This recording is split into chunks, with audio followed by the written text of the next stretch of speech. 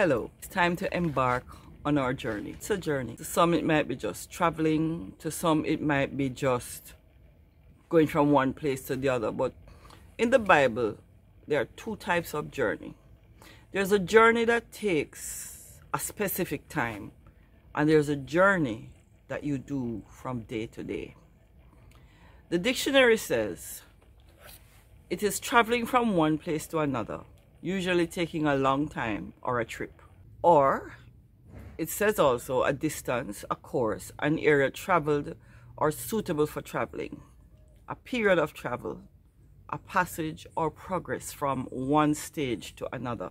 Now, in 1 Kings 19, verse 4, when Elijah was running away from the threats of Jezebel, it says, while he himself went on a day's journey into the wilderness, he came to a broom bush, sat down under it, and prayed that he might die. Exodus 3, verse 18 says, The elders of Israel will listen to you. Then you and the elders are to go to the king of Egypt and say to him, The Lord, the God of the Hebrews, had met with us. Let us take a three day journey into the wilderness to offer sacrifices to the Lord our God. That word journey used there several times in the scripture, you will find that it's often used in reference to a specific time. That word, journey, used there comes from the Hebrew root word darak, meaning to tread, to walk, to string a bow by treading on it in bending, to bend, to draw, go over, guide, lead forth, or to thresh. Now I want you to notice the words that are used here. And if you consider it, the, the word journey is used here for the Hebrews who are leaving Egypt, taking a three day journey into the wilderness to offer sacrifices unto God. This journey has a time factor. There's another Hebrew word, masa. It means a departure from striking the tents to march, not necessarily on a day's journey, but to be on your way. And Deuteronomy 10 11 says, Go, the Lord said to me, and lead the people on their way, so that they may enter and possess the land I swore to their, their ancestors to give them. Some translations say, lead the people on their journey. That journey is the journey that happens from day to day. Whenever they camp and they're going to strike their tents and get up and go to another point, they would go on a masa, okay? And I, I believe, I'm not going to swear to it, but I believe the word Mecca comes from it, where you take a pilgrimage.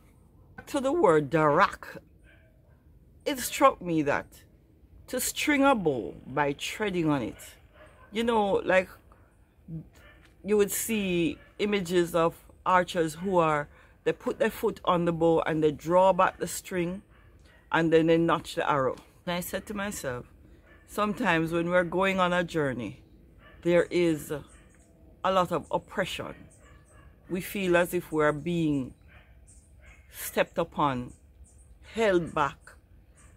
But it, I want you to understand this. The bow has to be bent to its full extent for the arrow to fly far and find its mark. So for the bow to be bent, there has to be a treading down, drawing the bow to its full extent and when the string of the bow is released, that means the arrow can soar, can fly far, and find its mark. I want you to consider that that arrow is you. Do not worry about who is treading you down, oppressing you, and holding you back. You get it, you know. Because the person who is holding you back let's start with treading you down, really is notching you in a boat to send you far. The scripture says when a man's ways pleases God, even his enemies will find favor with him. Okay, even his enemies. I want you to get that. At some point, hallelujah, what is treading you down has to be removed. And what is holding you back has to let you go. That is only for a time. As I was making these notes, it occurs to me why we should pray for the blessing of our enemies. I know a lot of people have a lot of problem with it in the word. Why should I pray for my enemy? I usually do it out of obedience because that's what Jesus said. Pray for your enemies. Bless them that persecute you. And then as I was doing and preparing for this teaching, I realized why. Someone who is treading on you, treading upon you, holding you back, they cannot move forward. They must stay where they are to keep you where they are trying to hold you down.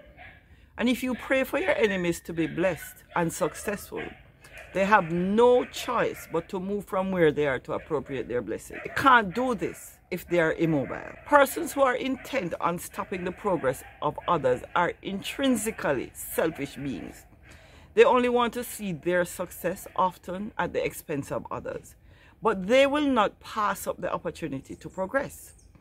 Thinking that they have stopped your progress, they will move on to achieve theirs.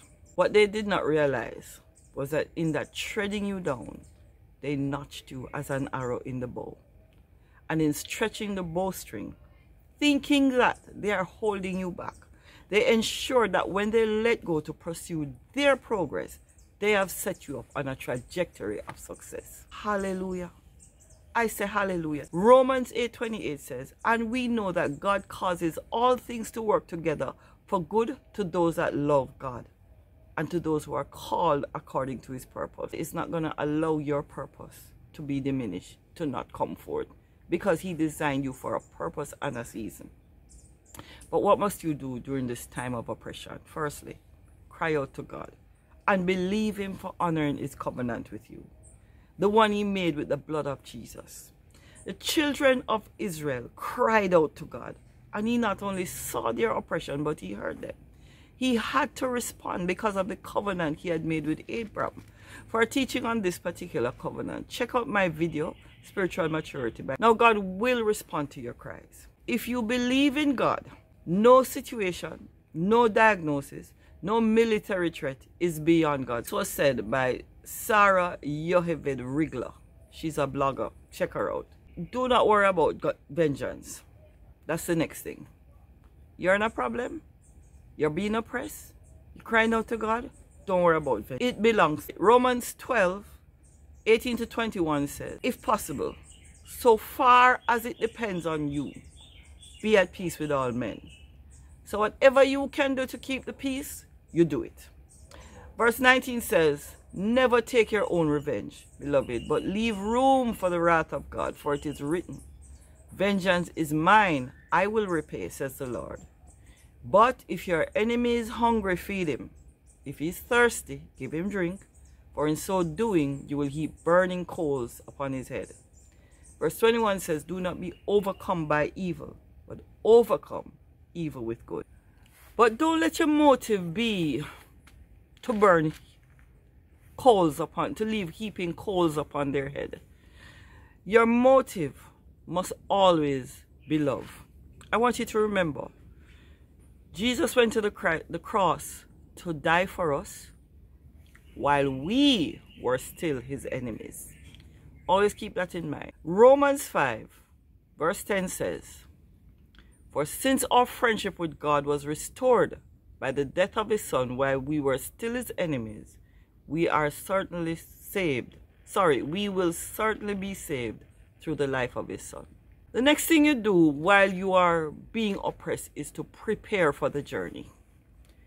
Notice that the children of Israel were given great provision to prepare themselves for the journey. Exodus 3:22 says, Every Israelite woman will go to her Egyptian neighbors or to any Egyptian woman living with them and ask them for gold and silver and jewelry and for their finest clothes. The Egyptians will give them to you, and you will put these fine things on your sons and daughters. Carry all this away when you leave Egypt. As a result, they had the ability to pay their way as they crossed through the land of Edom, as mentioned in Numbers 20, verse 19. It says, We will stay on the main road, the Israelites replied. And if we or our herds drink your water, we will pay for it. There will be no problem. Only let us pass through on foot.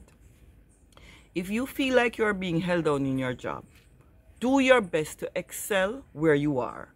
And in the meantime, polish your resume.